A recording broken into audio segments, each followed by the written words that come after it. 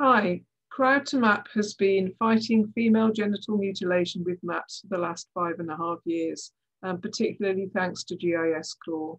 So FGM is the cutting of female genitalia for cultural or religious reasons, and it's illegal in Tanzania, but is wide, widespread. We're working with local activists, but their work was hampered by the fact of the lack of maps in those areas. So people need maps and we've been making them with a network of over 16,000 online volunteers. GIS Corps have been giving them feedback and validating, but also doing more technical work around working out where the missing villages and so on are. Better maps have helped over 3,000 girls find safe houses and avoid being cut and coincided with a reduced death rate.